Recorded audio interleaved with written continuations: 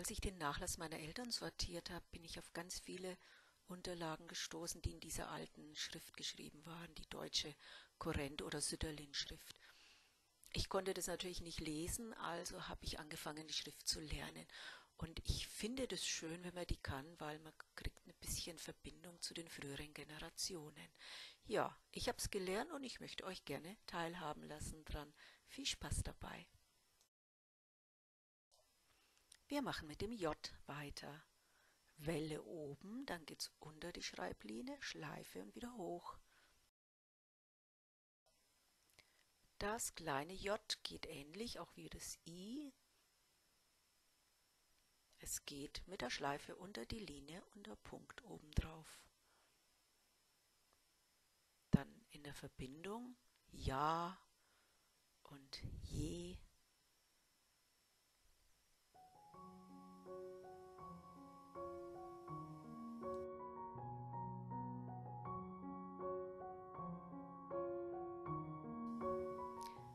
Das K ist jetzt wieder ein bisschen die Verwechslungsgefahr mit dem R.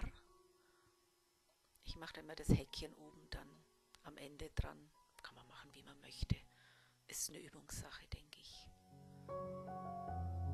Ist ein bisschen wie das kleine K eben in groß.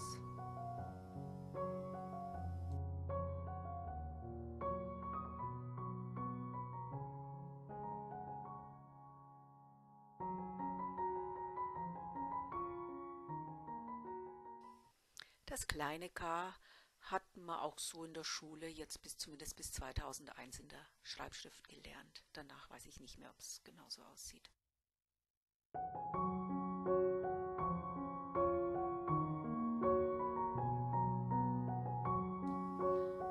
Das L ist jetzt, denke ich, auch nichts besonders Neues, das kennen wir so. Wichtig ist immer das Schleifchen oben, die Verzierungen, auf die wird immer ganz viel Wert gelegt. Übertreiben es da richtig mit den Verzierungen, dass man die Buchstaben gar nicht mehr sehen kann. Das kleine L, ja, ist auch bekannt. In der Verbindung nach rechts ist da jetzt auch nichts Spezielles zu beachten.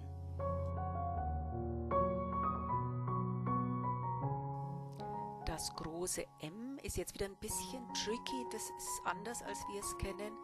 Also zwei Schleifen nach unten, Häkchen Abstrich.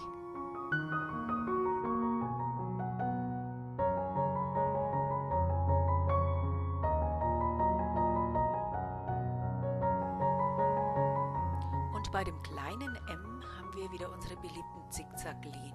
Einmal, zweimal, dreimal. Also praktisch drei Spitzen nach oben und nach unten mit dem Anstrich und dem Abstrich. Dann die Buchstaben M in der Verbindung wie hier jetzt das Wort Mama.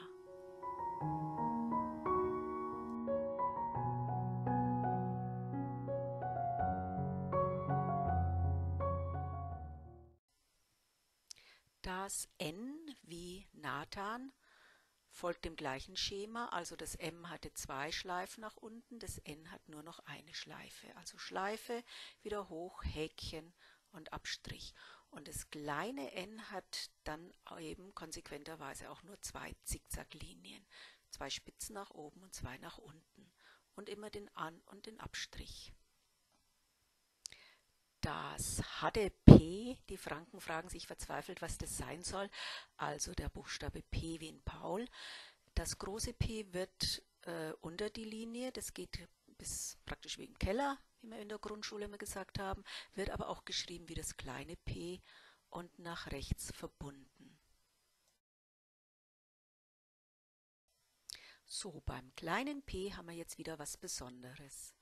Da haben wir einen Anstrich und eine Schleife oben, unten und wieder hoch. Hier nochmal ganz langsam der Anstrich, dann wieder runter, eine Schleife oben, nach unten unter die Zeile.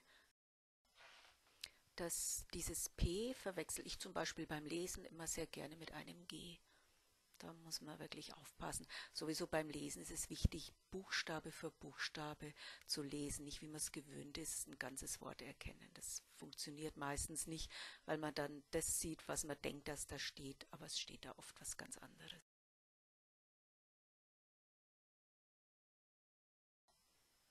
Das ist das große Q wie in Quelle. Das ist ein bisschen eine Mischung aus einem U und einem O mit dem Häkchen unten drin.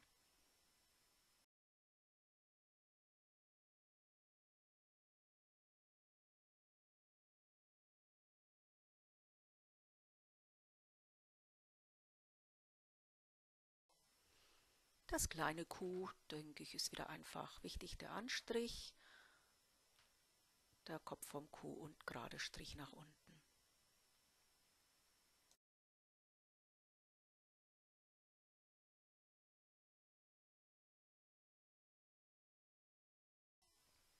Dann kommt ein schön geschwungenes R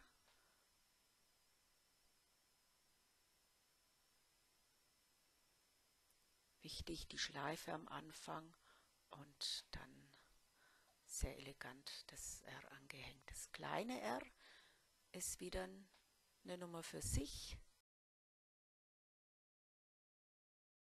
Wir haben da einen Aufstrich, Abstrich, eine kleine Welle unten, wieder den Aufstrich und das Häkchen dran. Ich zeige es euch dann nochmal ganz langsam.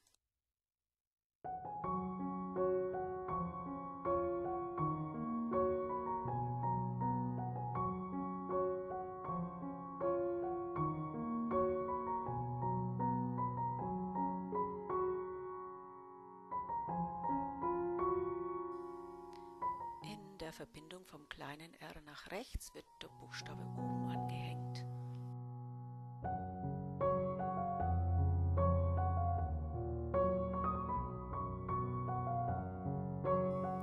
Das hier ist eine Handschrift von Goethe, äh, die erste Strophe aus seinem Gedicht zum neuen Jahr. Zwischen dem Alten, zwischen dem Neuen, hier uns zu freuen, schenkt uns das Glück. Und das Vergangene heißt, mit Vertrauen vorwärts zu schauen, schauen zurück.